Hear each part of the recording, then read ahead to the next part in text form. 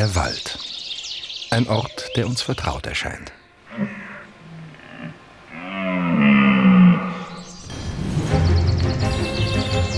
Viele seiner Bewohner leben jedoch im Verborgenen und sind selten zu sehen.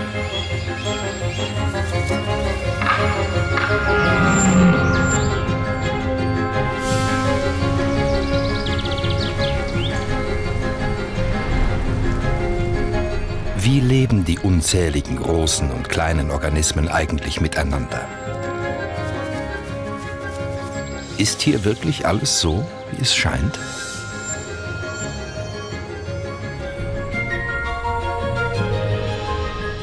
Sind unsere Wälder echte Natur oder Menschenwerk, das wenig mit unberührter Wildnis zu tun hat?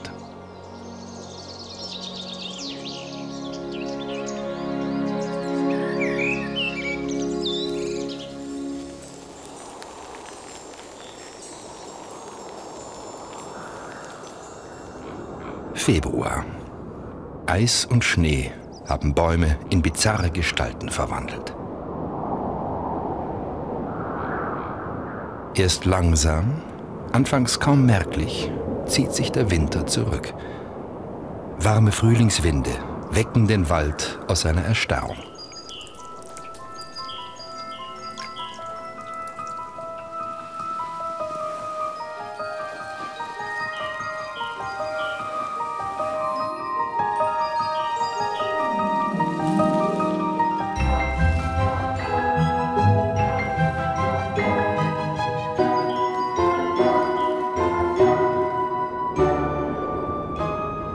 Dunklen Wolken fällt kein Schnee mehr, sondern lebenspendender Regen.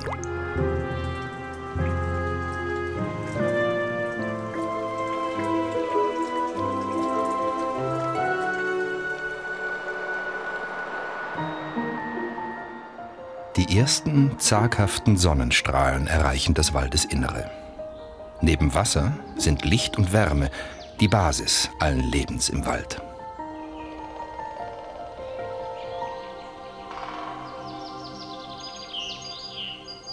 Es ist März. In Laub- und Nadelwäldern sind die ersten Vogelkonzerte des Jahres zu hören, allerdings in kleiner Besetzung. Noch fehlen viele Stimmen im Chor, denn die Zugvögel sind noch nicht zurückgekehrt.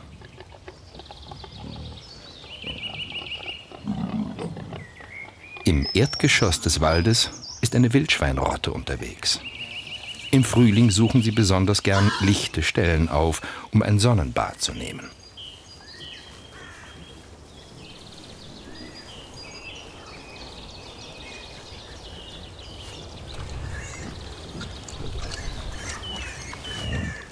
In einem warmen Nest aus Zweigen, Laub und Heu haben vor wenigen Tagen kleine Wildschweine, Frischlinge, das Licht der Welt erblickt.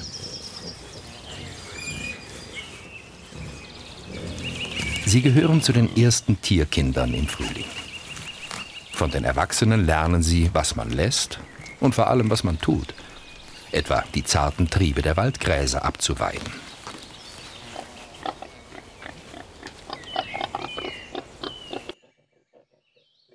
Im Kellergeschoss des Waldes eine Füchsin in ihrem Bau. Sie ist trächtig und duldet den Rüden nicht mehr in ihrer Nähe.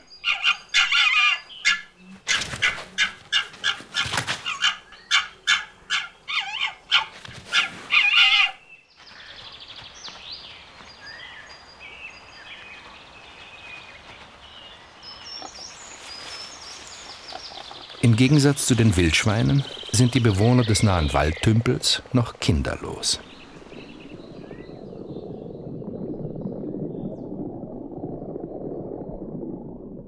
Während der Bergmolch auf der Suche ist, haben die Grasfrösche bereits Partner gefunden, an die man sich klammern kann. Leichtklumpen zeugen vom Paarungserfolg.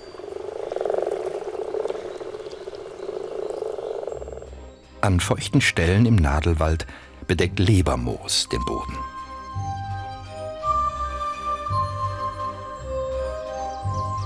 Elegant recken sich seine filigranen Sporenträger in die Höhe. In den dunklen Köpfchen reifen Millionen von Sporen heran.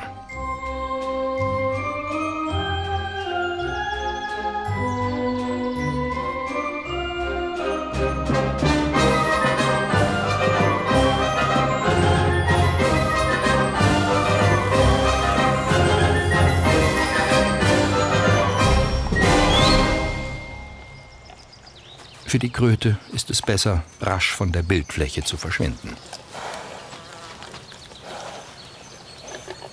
Denn Wildschweine sind Allesfresser. Kaum ein Winkel im Wald ist vor ihren Rüsseln sicher.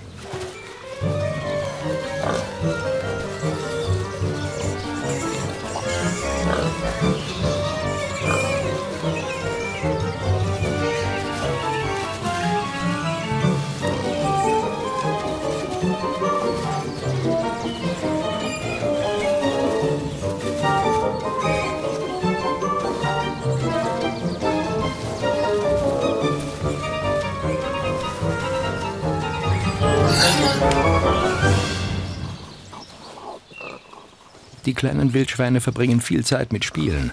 Das macht hungrig. Nicht jede Zitze ist allerdings gleich ergiebig, und so bildet sich eine feste Rangordnung.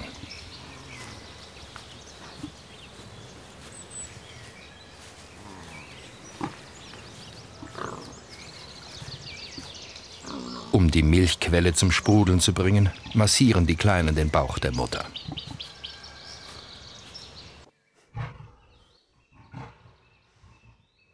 Währenddessen verschläft die Füchsin den Tag. Ihr Bauch ist dick und schmerzt. Gut 50 Tage dauert die Tragzeit bei Füchsen. Die Lufttemperatur und die Menge des einfallenden Lichts steuern die meisten Abläufe im Wald.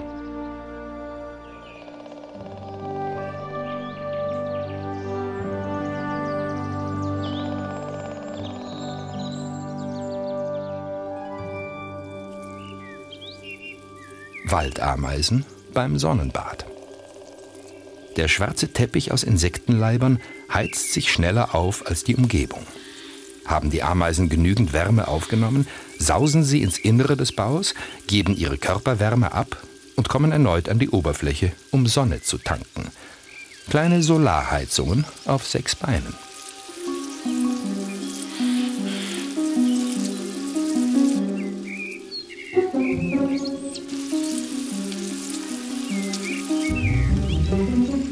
Ein Eichelhäher ist auf die Waldameisen aufmerksam geworden. Den Vogel begrüßen tausende winziger Säurespritzen, die ihren Bau verteidigen.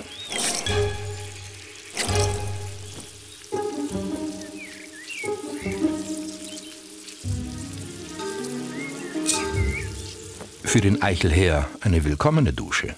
Durch die Ameisensäure wird er lästige Parasiten los.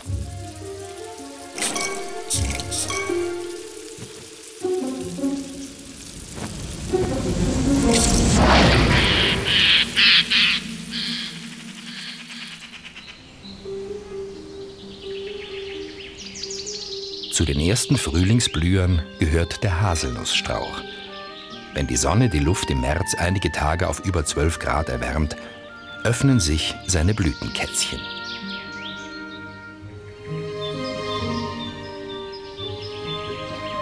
Die winzigen weiblichen Haselblüten strecken ihre Fühler nach dem männlichen Blütenpollen aus.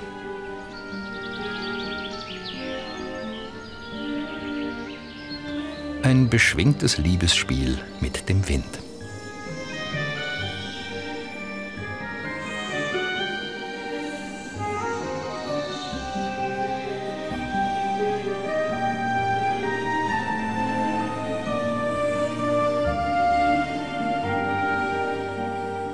Abermillionen Pollenkörner ziehen als goldene Wolke durch den Wald.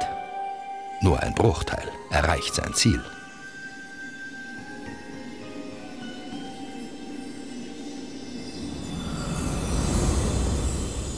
Der Rest geht unter und dient als eiweißreiches Kraftfutter. Für den Frühlingsschildkrebs etwa.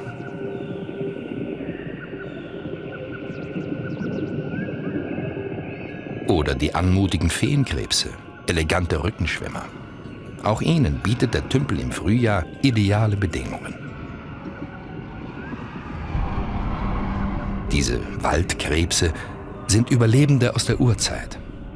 Ihre Vorfahren ruderten schon durch Wasser, das sich in Fußabdrücken von Dinosauriern angesammelt hat. Heute verdanken sie ihre Existenz anderen Tieren, wie den Wildschweinen. Regelmäßig besuchen die borstigen Teichbauer ihre Suhlen.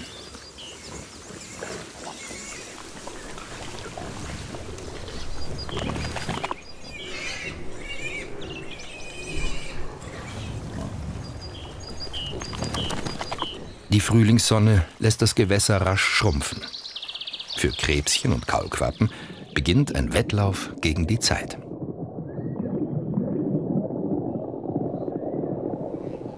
Das Austrocknen ihres Tümpels überlebt keiner der erwachsenen Waldkrebse. Aber im Fell der Schweine gehen ihre winzigen Eier auf die Reise. Mit etwas Glück landen sie in der nächsten Suhle oder auch nur am nächsten Baumstamm.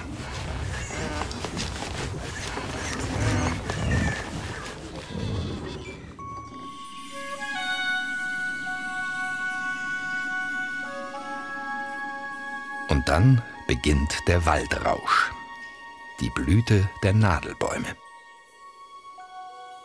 Der Blütenzapfen der Fichte ist eine ausgeklügelte Apparatur.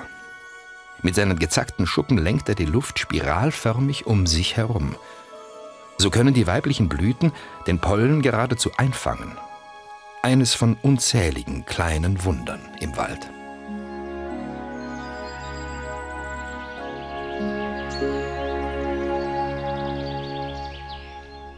Wenn am Abend die Sonne am Horizont verschwunden ist, wird der Wald zu einem Schattenreich mit ganz anderen Geschöpfen.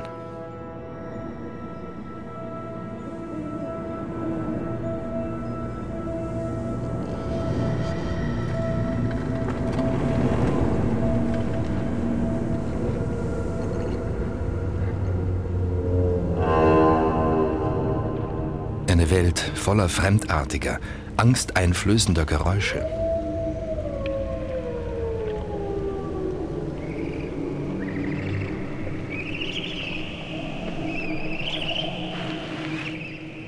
Doch viele Tiere haben schärfere Sinne als wir und finden sich auch im Dunkeln zurecht.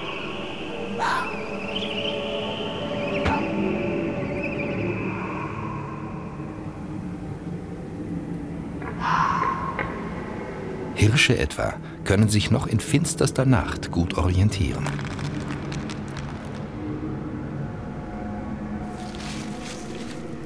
Andere sehen jetzt sogar besser als im Hellen.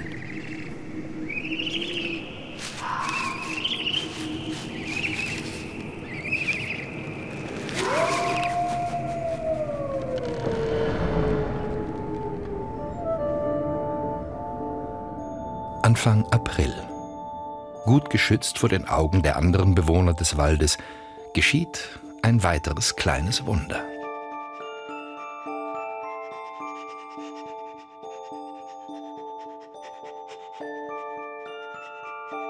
In ihrer Erdhöhle unter einem Wurzelteller bereitet sich die Füchsin auf die Geburt ihrer Jungen vor.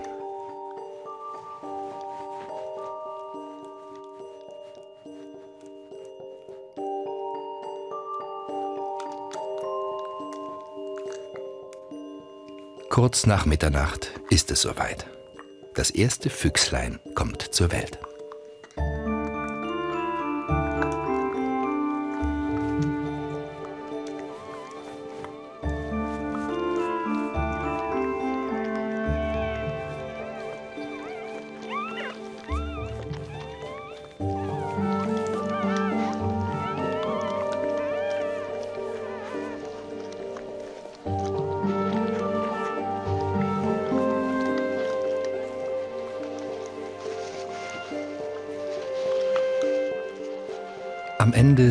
Sind es sieben Welpen.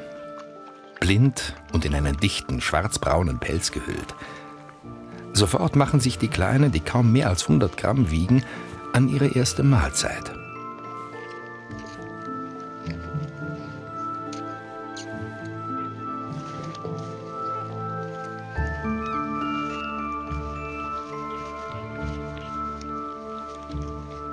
In den ersten vier Wochen werden die Welpen den Bau nicht verlassen.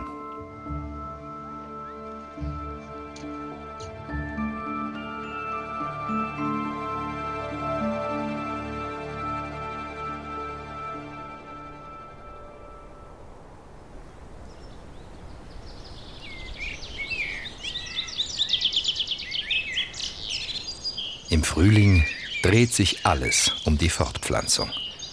Auch das vielstimmige Konzert der Singvögel.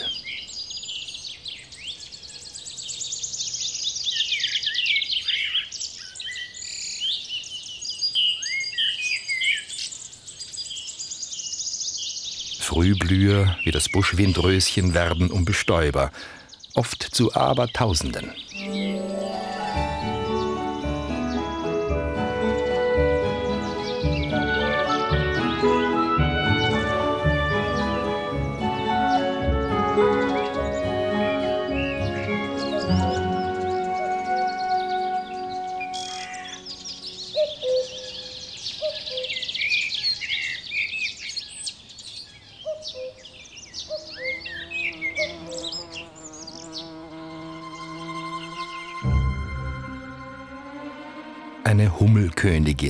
Nistplatzsuche.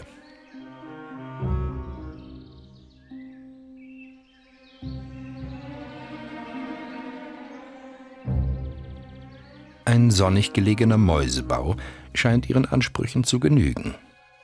Auftakt für ein Drama, das sich jedes Jahr zigfach im Wald abspielt.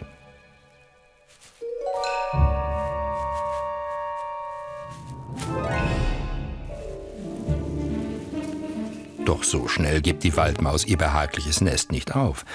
Sie ist um ein Vielfaches größer, hat aber Respekt vor dem Insekt.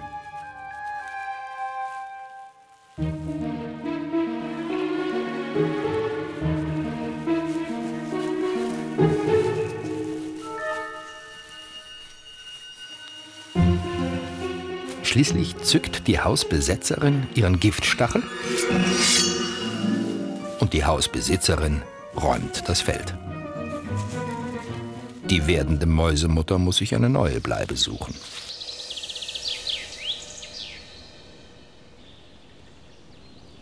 Noch immer dringt Licht bis auf den Boden und lässt mehr und mehr Frühlingsblumen sprießen.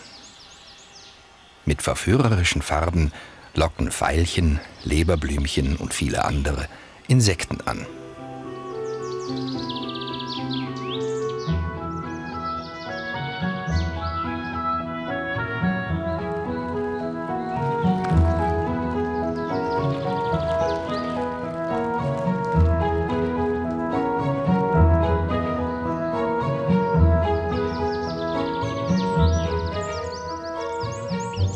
Manche Pflanzen machen durch intensiven Duft auf sich aufmerksam, wie der Bärlauch.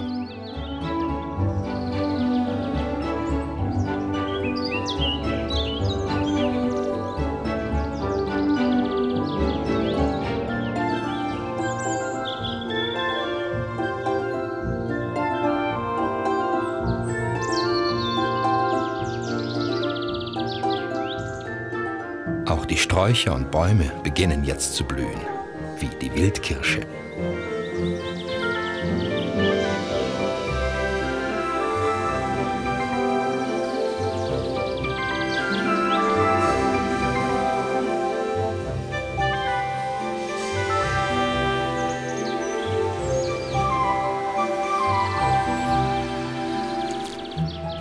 Eine Symphonie aus Formen und Gerüchen.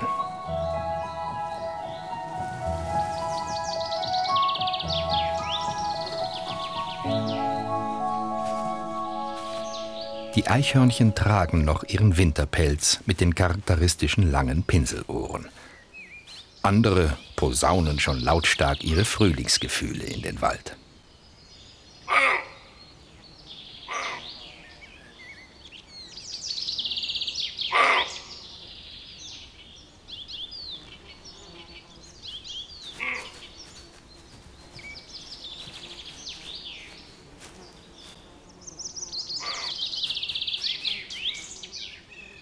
In lichten Laubwäldern bildet der Lärchensporn mancherorts ganze Teppiche. Seine Blüten leuchten in rosa und weiß und enthalten besonders viel Nektar, heiß begehrt.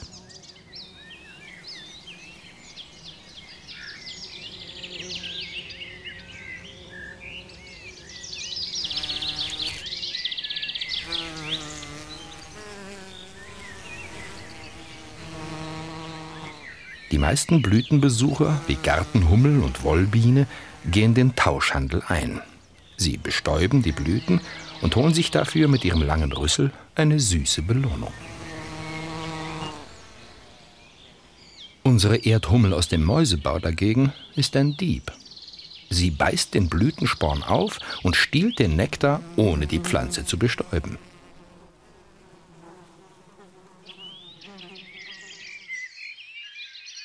Es gibt allerdings auch Waldblumen, die ihre Besucher überlisten. Das Mannsknabenkraut, eine Orchidee, ahmt die Blüten des Lerchensporns nach. Die Blume ist eine hübsche Betrügerin. Sie klebt den Hummeln, die ihr auf den Leim gehen, Pollenpakete auf die Stirn, ohne dafür mit Nektar zu bezahlen.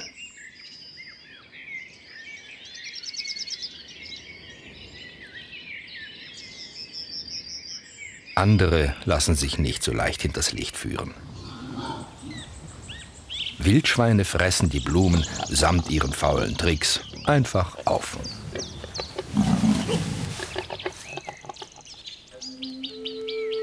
Ende April treiben die Blätter aus. Binnen weniger Tage schließt sich das Kronendach. Die Laubbäume beanspruchen jetzt den größten Teil des lebenspendenden Lichts für sich allein. Je dichter der Wald, desto dunkler wird es im Erdgeschoss. Nur wenige Tiere und Pflanzen haben sich an die Finsternis angepasst. Doch so sahen unsere Wälder ursprünglich gar nicht aus. Bevor der Mensch die Erde nach seinen Vorstellungen umgestaltete, waren viele Wälder offen, parkartig und das ganze Jahr über lichtdurchflutet. Die Landschaftsplaner dieser Zeit waren große Herden von Pflanzenfressern. Ihr gewaltiger Appetit formte einst offene Wälder. Fast alle Großtiere rottete der Mensch im Verlauf der letzten 30.000 Jahre aus. So verschwanden mehrere Elefantenarten, Wiesente und Wildpferde, Nashörner und Riesenhirsche. In den Ebenen Mitteleuropas würde es noch heute aussehen wie in der Serengeti in Afrika.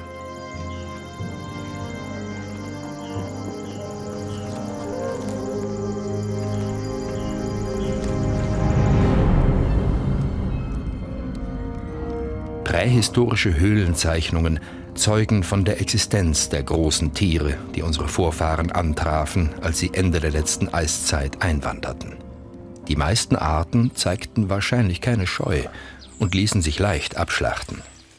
Einige große Pflanzenfresser wie Rothirsch und Elch überlebten nur dort, wo sie geduldet oder genutzt wurden.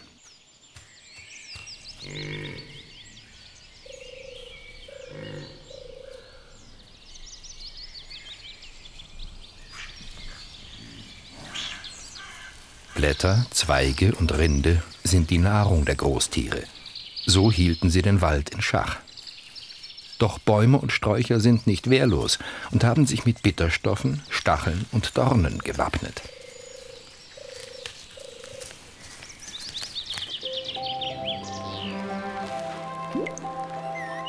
Der dunkle Wald, wie wir ihn heute oft vor uns sehen, ist also ein Werk des Menschen. Ein recht artenarmer Lebensraum. Aber nach wie vor mit faszinierenden Bewohnern, dem Aaronstab etwa.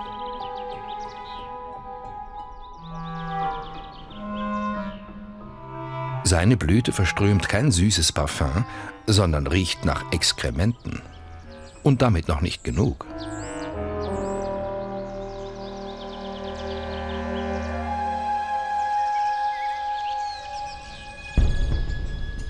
Die Wärmebildkamera entlarvt, der violette Blütenkolben in der Mitte der Blume wird bis zu 38 Grad warm. Wärme und Kotgeruch locken Schmetterlingsmücken an, die es eigentlich auf den frisch abgesetzten warmen Dung von großen Pflanzenfressern abgesehen haben.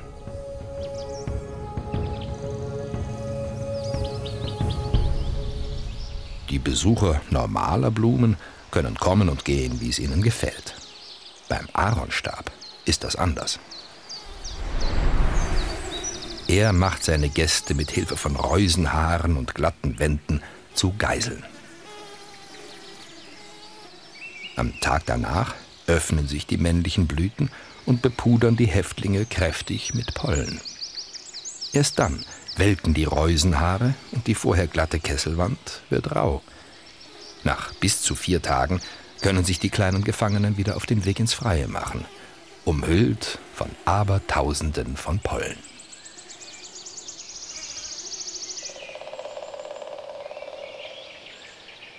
Ganz in der Nähe eine Gruppe von Hirschkühen. Sie sind hochträchtig und die Geburt der Kälber steht kurz bevor. Wie fast alle großen Waldbewohner ist der Rothirsch von Natur aus lieber am Tage unterwegs. Nur dort, wo er vom Mensch gejagt wird, ist er nachtaktiv. Das gleiche gilt auch für den Fuchs.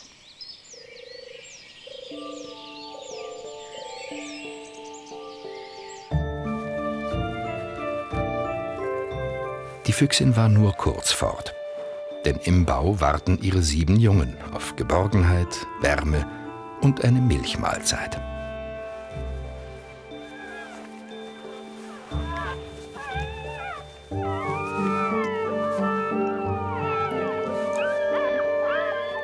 Sie sind inzwischen schon kräftig gewachsen.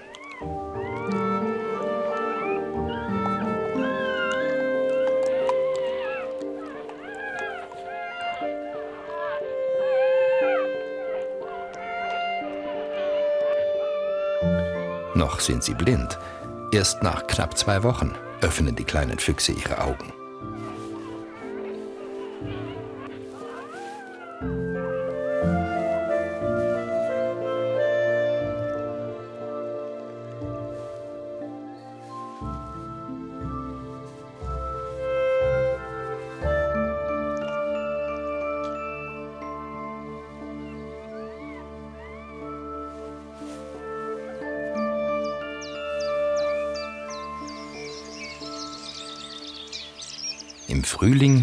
Findet in den Baumwipfeln fast den ganzen Tag ein großes Vogelkonzert statt. Der Weißstorch kann zum Konzert der Waldvögel nur Geklapper beitragen und Gezänk.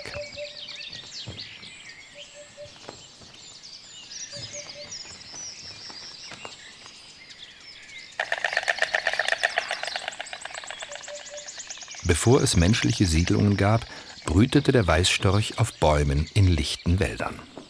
Auf feuchten Waldwiesen fand er reichlich Nahrung und einzelne knorrige Bäume boten ihm eine große Auswahl an Nistplätzen. Wie in jeder guten Ehe herrscht auch beim Storchenpaar öfter einmal Uneinigkeit über die Inneneinrichtung.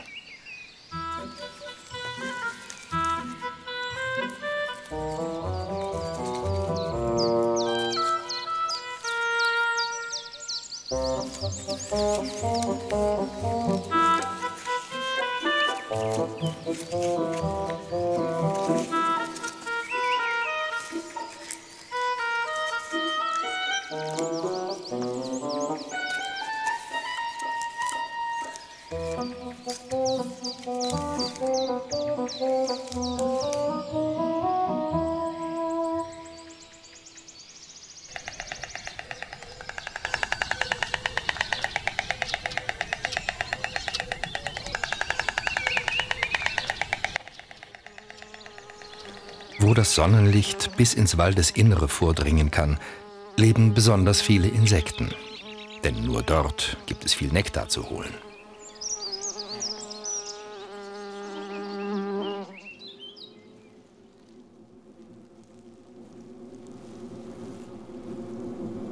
Der Erdhummelstaat im ehemaligen Mäusebau hat sich prächtig entwickelt. Mehr als 30 Staatsangehörige sind ununterbrochen damit beschäftigt, das Nest auszubauen und Zwischenwände einzuziehen. Alles unter Aufsicht der dicken Königin.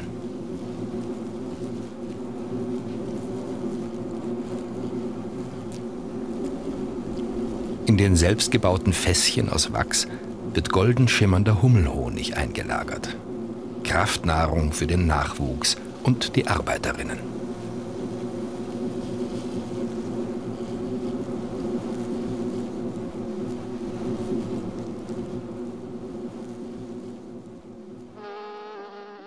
Gehören zu den wichtigsten Bestäubern im Wald. Sie fliegen mit erhöhter Körpertemperatur und sind daher auch bei kühlem Wetter unterwegs oder können schattige Waldbereiche nach Nektarquellen absuchen. Ihre Ausflüge tief in den Wald werden oftmals belohnt.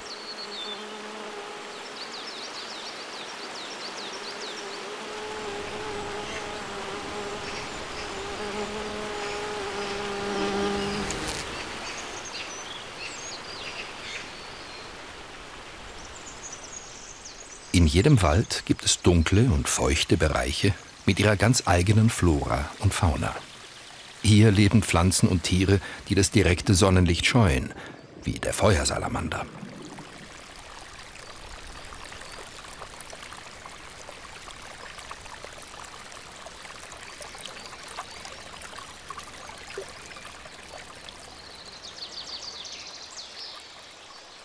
Das Ufer des Baches säumt ein Dickicht aus Schachtelhalmen.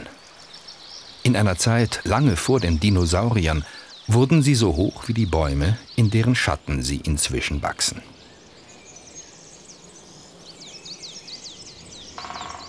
Auch abgestorbene Bäume tragen auf ihre Weise zur Vielfalt bei, bieten Nahrung und eine Behausung.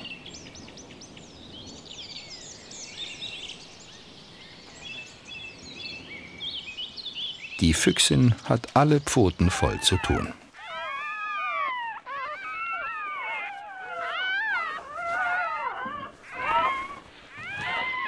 Ihre Welpen haben die ersten vier Lebenswochen im Dunkeln verbracht. Jetzt zieht es sie immer öfter ans Licht.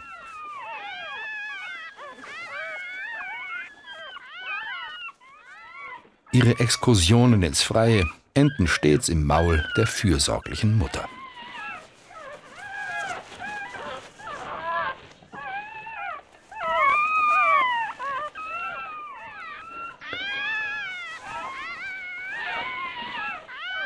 Noch ist Milch für die Kleinen, die gerade einmal ein halbes Kilo wiegen, die einzige Nahrung. Schon bald wird die Füchsin mit Mäusefleisch für Abwechslung sorgen.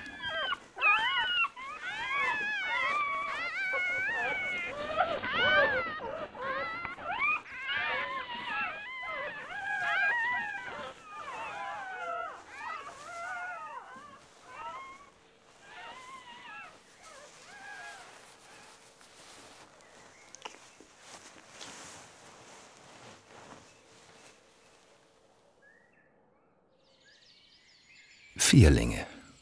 Auch die Waldmaus ist nun Mutter geworden. Bei einer Tragzeit von drei Wochen, sicher nicht zum ersten Mal in diesem Jahr.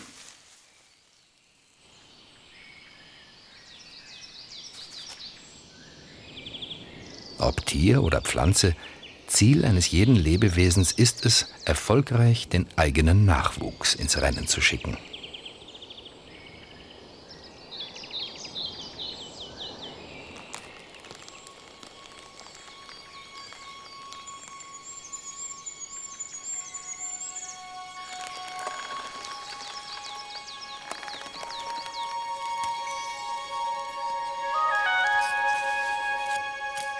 Zwei Jahre lang hingen die Fichtenzapfen am Mutterbaum und reiften. Nun schicken sie die Samen aus schwindelnder Höhe auf eine ungewisse Reise. Nicht selten wachsen die Baumkeimlinge auf den modrigen Überresten ihrer Vorfahren, die ihnen als natürlicher Dünger dienen.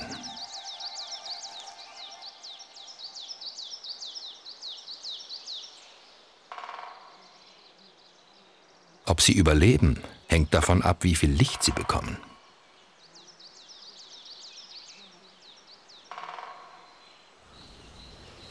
Für die jungen Wildschweine sind die wärmenden Sonnenstrahlen nicht mehr so wichtig. Sie sind nun groß und dick genug, um auch an einem kühlen Morgen nicht mehr zu frieren. Ganz ohne Sonne geht es allerdings nicht.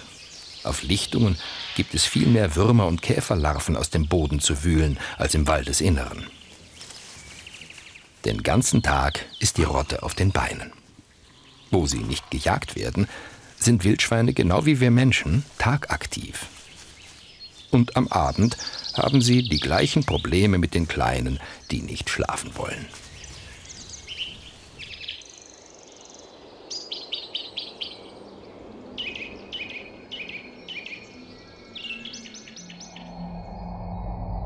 Jede Tierart hat ihre ganz bestimmten Zeiten, in denen sie munter ist oder ruht. Eine Strategie, um Feinden und Konkurrenten aus dem Weg zu gehen. Etwa eine Stunde vor Tagesanbruch beginnen die Auerhähne mit der Balz.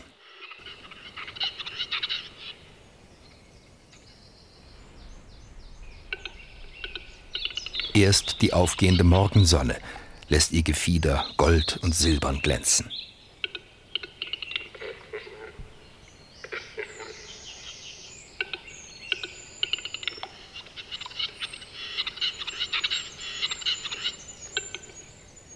Die Wipfelregion der Bäume ist auch das Reich des Wintergoldhähnchens. Der kleinste und der größte heimische Waldvogel teilen sich das Dachgeschoss.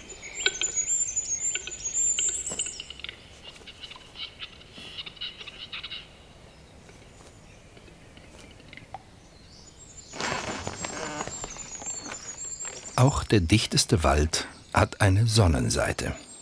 Sein Kronendach, das nicht nur in den Tropen, sondern auch bei uns noch nicht gänzlich erforscht ist.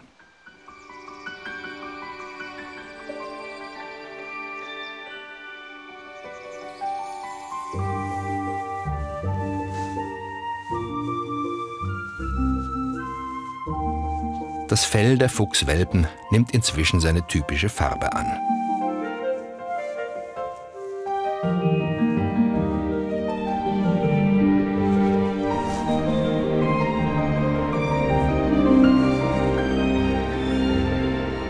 Langsam wird es Zeit für die Kleinen, die Welt vor ihrem Bau zu erkunden.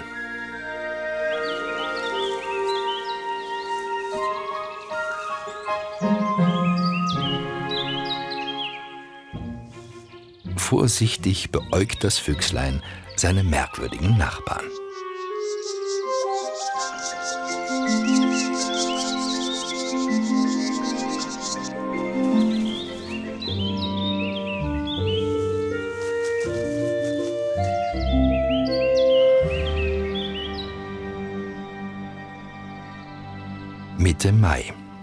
Feuchten, lichten Wäldern fallen jetzt die Fruchtkörper der Morcheln auf.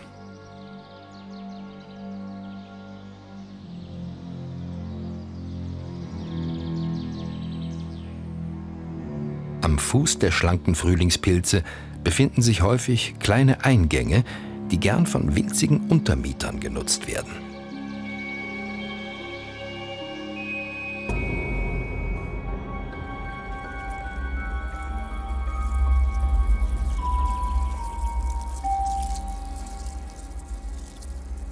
Mancher Käppchenmorchel wohnt sogar ein ganzer Staat. Knotenameisen nutzen das feuchtwarme Treibhaus, um ihre Brut aufzuziehen.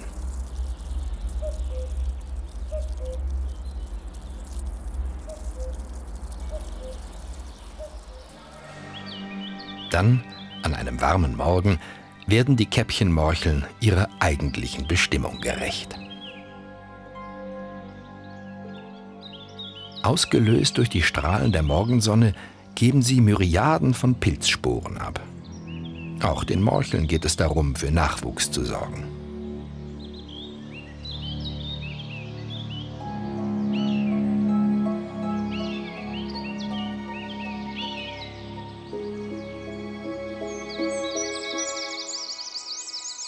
Knotenameisen machen sich nicht nur andere zunutze, sie sind auch selber nützlich. Merkwürdige Gebilde wachsen empor. In ihrem Inneren kleine Kugeln mit weißen Anhängseln. Es sind die Samenkapseln des Duftveilchens. Der Inhalt zieht die kleinen Sechsbeiner magisch an. Die weißen Anhängsel sind eine Lockspeise. Die Ameisen schleppen das appetitliche Etwas in Richtung Bau und verbreiten so die Veilchensamen im Wald. Drei Viertel aller Waldblumen nutzen mit solchen und ähnlichen Tricks die eifrigen Ameisen als Verbreiter ihrer Samen.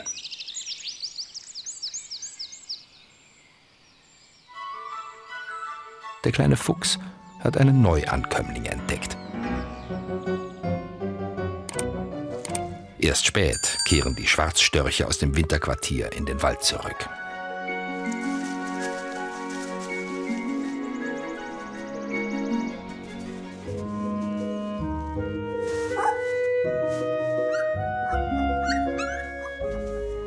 Seine ersten Erfahrungen hat er inzwischen gesammelt. Bald werden ihm seine Geschwister folgen. Bis sie den Bau endgültig verlassen, können die Fuchskinder ganz sorglos spielen und für den Ernst des Lebens trainieren.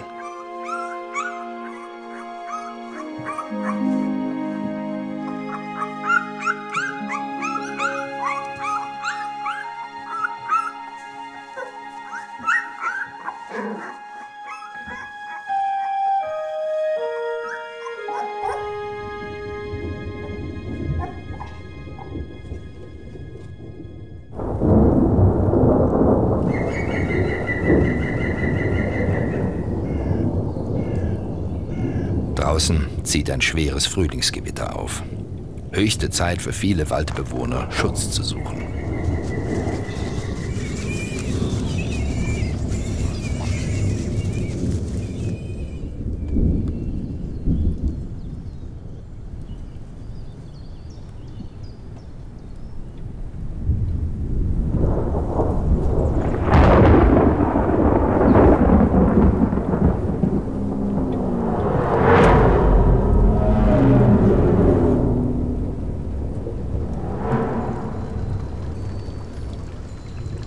Die Allerkleinsten ist der Regen, der nach wochenlanger Trockenheit niedergeht, nicht nur Segen.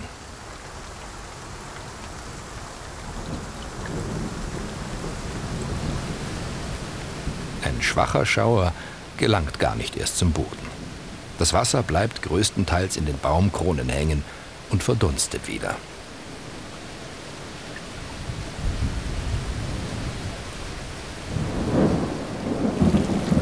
Andere Waldbewohner fühlen sich zunächst sauwohl.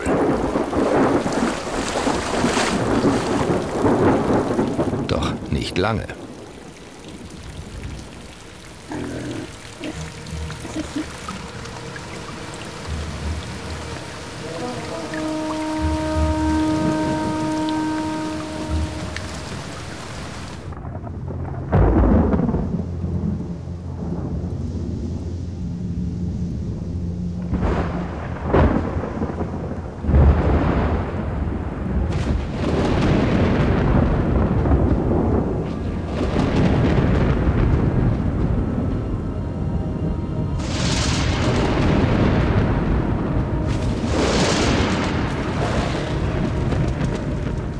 Inferno bricht über die Bewohner des Waldes herein.